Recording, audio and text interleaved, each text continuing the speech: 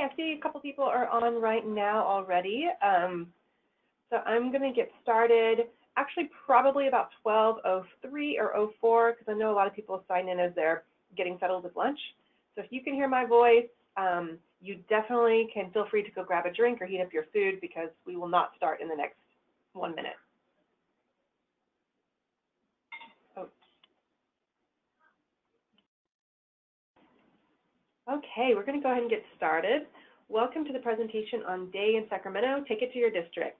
Um, this is Salena Copeland. I'm the Executive Director of Legal Aid Association of California. Um, and looking at the names of people who are attending, I don't think you guys have, have gone to the past Day in Sacramento, so I'm really glad that you're interested in taking Day in Sacramento to your district. Um, the actual presentation today will be quite short. I think it's probably about 15 minutes of content, and then I'm going to show you a couple of the materials that we use in Day in Sacramento that I'm always, always I'm happy to share with programs who may schedule visits in their district. Um, at any point in time where you feel you want to interrupt and ask, ask questions, please do so. Um, you can use the chat feature, which I think looks like a question mark on your screen maybe, um, or raise your hand. Um, it may take me a minute to notice it because I'm both running the webinar and running a PowerPoint, but um, I promise to make sure to ask for questions at the end. And you also, also can always email LAAC staff with questions. Um, I'm the main staff or the lead staff for our advocacy projects including our legislative advocacy. But you can also reach out to Lauren Klein, our directing attorney, or Zach Newman, our research attorney. Um, the three of us make up the advocacy team at LAAC. Let's get started.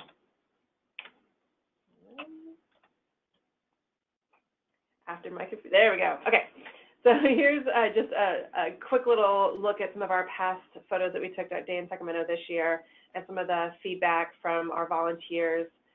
Um, Day in Sacramento this past year, we took about 30 attorneys from across the state to Sacramento to meet with legislators. Um, I believe last year, which was our first year, we took about 40 attorneys from around the state. Um, and here's, I think you see a, at the bottom right corner, you see Assemblymember Mark Stone giving the welcome address. Um, Mark Stone is the chair of the Assembly Judiciary Committee, and he's been a great partner to Legal Aid in the Capitol. So um, we were very honored to have him give our welcome. Um, but I just wanted to show how a lot of us go to Sacramento to do all these um, talks about the importance of legal aid and funding legal aid, but really you don't have to go to Sacramento to do these, um, to, to build these relationships. You can do it in your district. So a quick background on LAAC's advocacy, the goals of the day and of Day in Sacramento, which is actually the same as goals to, of the district visits.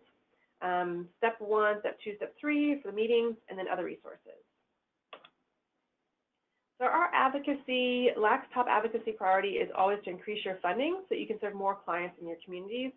Um, and of course, we hope to increase your funding so that you can recruit and re retain your qualified attorneys so you're not churning new attorneys every year. We think it's important to have um, stable workforces so you have that institutional knowledge, which you can only do with stable funding. Uh, budget advocacy definitely works. Um, so what's really interesting in the history of funding for legal aid is you get a lot of these really great ideas for stable funding when there's a crisis in funding of legal aid.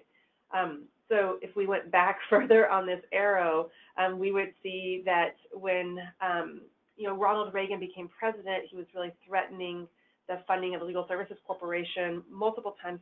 You know, tried to zero fund Legal Services Corporation. And at about that exact same time was when states across the country created IOLTA as a revenue source. Um, that was actually a very stable funding source in California for quite a long time. But there are a couple of economic downturns. And one of the economic downturns in the 90s, I think, probably was the catalyst for the Equal Access Fund, which was created in 1999 um, by our then Chief Justice Ron George as a stable funding of $10 million for legal aid in the judicial branch budget that was stable and some would say stagnant at 10 million up until 2017 when we did budget advocacy with many of you to increase that funding. It was first increased by $5 million as a one-time increase, and then we got it increased um, as a $10 million increase, uh, again, as, as not permanent funding. But just this past legislative cycle, we got that $10 million increase to be ongoing. So our budget advocacy works. We get um, really great results. We doubled the general fund support for legal aid although it's quite modest, from 10 million to 20 million, but that was largely due to the relationships that were built in Sacramento from partners like you. The goals for the day in Sacramento and also goals for district visits, it's really to educate legislators about what you do, um, especially the legislators that aren't lawyers. I think many people assume you have a right to an attorney um, because of what they see on TV, and as they become legislators, they understand that's not necessarily true, but they don't understand where and when you'd have access to an attorney and, and what the funding sources for those attorneys are. And many of them really don't realize that they actually have the power to increase your budget and to actually increase services to their constituents in their district. So we want to help make sure legislators understand the importance of your work. And the best way to do that is tell specific stories about you and your organization's work, and um, of course, establish those key relationships so that when they have questions about services to low-income people, they come back to you. And of course, if you'd like to engage in any budget advocacy, which you don't have to do in district visits, but if it's a, um, you know, a relevant topic at that moment in time, reach out to LAAC staff and we'll give you the talking points. And if you are allowed to lobby, you can lobby on your organization's bills. Um, if you are an LSC-funded organization, please do not lobby unless you check with your executive director. For the most part, LSC-funded organization staff may not lobby on a bill. It's a federal restriction unless you have a specific invitation to comment on that bill from the legislator that you're talking with or writing a letter to, or if it's directly impacting your funding. That's a carve out because of course the federal government would love for you to get funding from the state government um, for legal, for you know, your own funding. But, um, but again, if you are staff at an LSC funded organization, I would encourage you to talk to your executive director before you um, establish any relationships with legislative staff to make sure that you're tracking your time appropriately, even if it is um, perfectly appropriate behavior. And why do relationships matter? Um, you know, we work to build relationships with legislators and leadership and in key committees. So, you know, if, if you ask me if Assemblymember Mark Stone or Senator Hannah Beth Jackson is familiar with your issues, the answer is yes. They very much know your issues. They are the respective chairs of each House's Senate um, and Assembly Judiciary Committees. Um, but we don't establish really great relationships with the legislators who are not on those committees. It's simply too, too many people to have relationships with, and some of them turn over after a few years. So um, the one time where it really does matter is when votes come up when we need a two-thirds vote. And for example, right now, there's a very important bill that will be a two-thirds vote in both houses to increase funding for legal aid. So AB 330, this is a bill by Assemblymember Jesse Gabriel down in Los Angeles County. Um, this is an expansion of the Sargent Shriver Civil Counsel Act pilot projects. Right now, there's funding in about nine counties for increased civil representation under this one source of funding.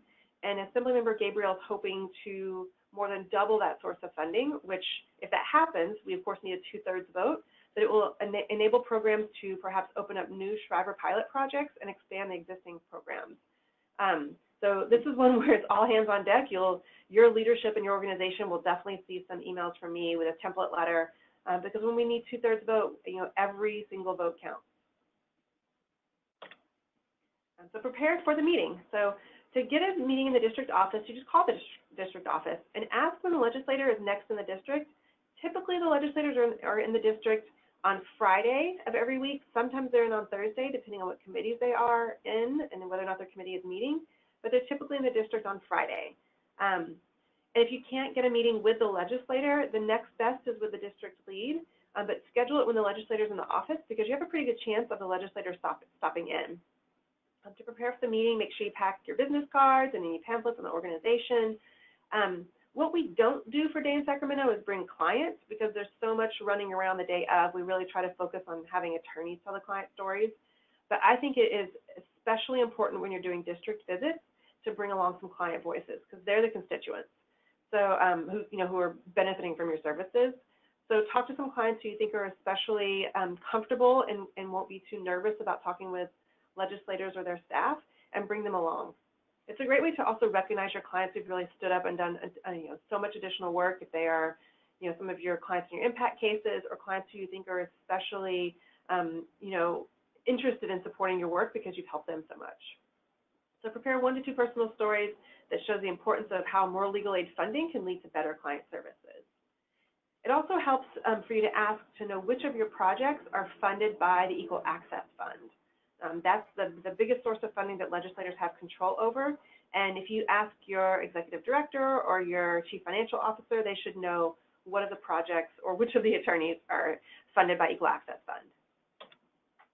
And other, just expectations for the meeting, there's gonna be last minute changes. Um, you may be meeting with people who don't know about your work. Um, you may be meeting with, uh, a junior staffer, but I can't tell you how many times I've had a meeting with a junior staffer and then their boss just comes in the door. And so I, you know, I typically actually have pretty casual meetings, but as soon as the legislator's in the office, I make sure that I'm, you know, on point for all my talking points.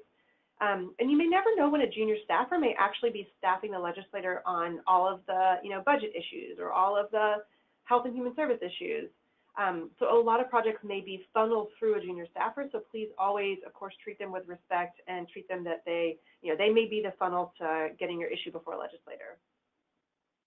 Oh, one thing too, um, when we have had meetings today in Sacramento, we provide something called a legislator, um, you know, legislator tip sheet, which I'll show you at the end of this webinar, but, um, which we say, you know, points about the legislator, how they've been supportive of legal aid in the past, or what are their bills for low-income Californians. So we do provide additional support for legislator research, but if you're meeting with staff, we don't, you know, Google stalk a staff member, because we just never know that person may actually change. So, um, so don't expect that level of research on the staff, but we do that for legislators, and I'll show that, you that at the end of this. So conducting a meeting, be prompt, prompt and patient, keep it short and focused, provide personal and very local examples, and don't be afraid to say, I don't know. If they say, oh, you know, do you, does your organization do such and such, and since it's not your area, you don't know, just totally say, I don't know, and I'll look into it and get back to you. Um, and also ask if you can follow up with our Capitol staff if you have any policy or budget advocacy pieces. And it would be great to have, you know, introduction from the district staff to the Capitol staff for you to have a phone call or meeting with Capitol staff. And then after your meeting, we would love to have your follow-up notes. Um, we have a legislator meeting summary sheet I'll show you after this presentation, which we would love for you to fill out. Um, but generally, we, we just want to know, you know, was the legislator or their staff interested and receptive? Were they asking you about issues that your organization doesn't cover, but other organizations may?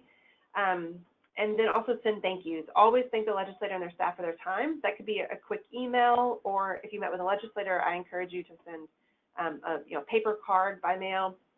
And then what I love to do, because this makes the staff members' lives a bit easier, is when you send an email to a staff person, summarize the key points of what you talked about. So say, you know, for example, we talked about Bay Area Legal Aid's um, services to um, homeless youth and I really appreciated your comments about um, early interventions in, in childhood education.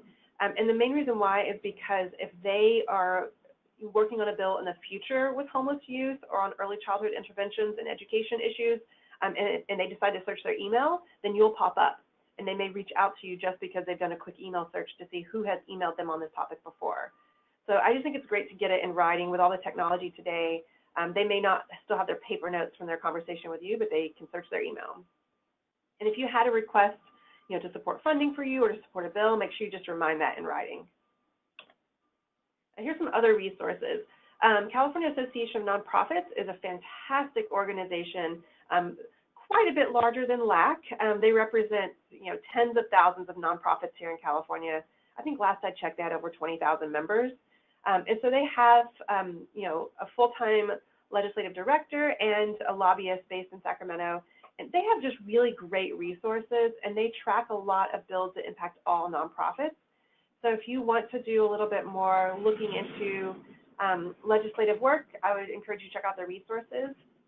Alliance for Justice is a national organization that focuses on um, advocacy. One of their projects, which you may know of, is around judicial nominations but they have a project called Bolder Advocacy, which is encouraging nonprofits to lobby, um, you know, if they're able to and under restrictions, um, for the benefit of low-income people throughout the country. So the Bolder Advocacy Project has great materials, including California-specific materials on how to track your time. So if you are an executive director of a small program and you want to do a little bit more lobbying, but you want to make sure you've got all the right papers filed with the IRS, um, Bolder Advocacy is a great project to get um, a toolkit and lists and, and um, links to all the appropriate forms. They also have a, one California-specific toolkit that I believe is something like 100 pages that I found incredibly helpful when we started increasing our lobbying. And always ask us for help. So um, while you think of questions, which of course, of course you can use your chat box, I am going to pull up the other resources I wanted to show you. So one of them is general talking points. We have these general talking points, um, which if you want me to send this to you, I can, but I also will send it to anyone upon request before you have a meeting. These are just general talking points that we use each day for Day in Sacramento. Yes, thank you for your support to increase funding to legal aid. Um, Equal Access Fund allows us to do blah, blah, blah. Funding legal services is, critically important right now. So we update this every year, and we can update it also mid-year if you have a day in district um, planned with some of your clients or your junior staff. So that's our talking points. We also have just, this is a very, very um, cheat sheet of, are you an attorney at an LSC-funded organization? So the focus of the day in Sacramento and the focus of the day's uh, visits in the district is on legislator education, not on lobbying. Um, so I have information here about lobbying. And then just a little bit here about what is lobbying? Am I lobbying today? And just clarifying what is lobbying and what is not lobbying. Because I think you can have, you know, dozens of hours of conversations with a legislator and none of it be lobbying if you're just talking about what's happening in their um, district and what's happening to low-income constituents who, um, who they represent. If you're just doing education and you're not talking about any specific bill or proposed bill and you're not urging them to take action, you can have education that is not lobbying. There's there. Um, another resource that I like to share with folks is the, um, this is just a PDF that we print. Let me make it a little bit bigger so you can see it. This is the funding sheet. So if you want to do any budget advocacy on um, Equal Access Fund, we have a sheet here that says, you know, the justice gap, you know, how many people have a legal problem, people are not getting the help they need, we don't have enough legal aid attorneys for the low-income Californians who need it, and then where are we compared to other states that fund any legal aid. The last resource, I have two more resources to show you. One of them is, um, this is the legislator um, talking point that I mentioned earlier. I'm showing you the one for Senator Hannah Beth Jackson. She's down in Santa Barbara County. And we provide this, so we have the district telephone number, we have um, the Capitol number, you know, two district offices. Some legislators may have multiple different um, district offices if their district is large. We include the chief of staff, the legislative director, and the scheduler. So a scheduler is a person who you'd want to contact um, either by email or you could call and get a meeting with the legislator. We also include a district map. We just think it's really helpful to see in one document the district map and who has offices in their district. And then we include the relevant committee roles of that legislator. And then we have a few little talking points here about the district poverty rate. Um, and moving down, um, past bills that have been really great for low-income Californians and some helpful background info. So we do this for, I think this year we had about 35 of them done. And if you're meeting with a legislator who we have this worked up already, we're of course happy to share it with you. If you're meeting with a legislator who we don't have one of these done already, we can help you gather that information, even if we don't put it into a PDF for you, because this just is a Word document where we dump everything there and make it look nice. Um, and the last thing is just after your meeting, we would love to have a legislator meeting summary. You don't have to be as formal as this, but this is what we have for Day in Sacramento. We essentially want to know, you know, who you met with and whether or not the meeting felt, um, you know, productive, whether they were receptive, and some general issues discussed. You can drop that in an email to me at any time. So those are all the resources. Um, and Lauren Klein is here in the office with me. I'm going to ask if she has anything else to add. Nope, I think that covers it. Um, I just want to reiterate that we are very happy to help you with any part of the process of getting visits set up in your district. So please don't hesitate to reach to reach out to us. So um, thank you so much. I'll wait one more second in case anyone pops up with a question, but I don't see any. So yeah, definitely if you have any que- oh, I see one. Um, so I see a hand raised. What you'll need to do is use the chat box or the question box to ask a question. So for those, oh, I see it right here. Um, oh, so if you want to get the materials, my email address is always available on our website, but it's, and I should have put it on this PowerPoint presentation. It's S Copeland, so S C O P E L A N D at laaconline.org, and that's L A A C online.org. Um, and you also, if, if you ever need any of these materials or you can't find my email address, you can email any LAAC staff at all, and they'll they'll get you what you need. And if I remember to today, before I uh, close out this work and turn to my next project, I will try to send all the materials to all of you who attended today too. Um, so thank you so much for participating in this, you know, visits in the district webinar. Um, feel free once I once I put this recording online, I will also send you the link, and you can feel free to share it with your coworkers who weren't able to make it. So thanks and good luck. Hopefully you'll have some district meetings soon.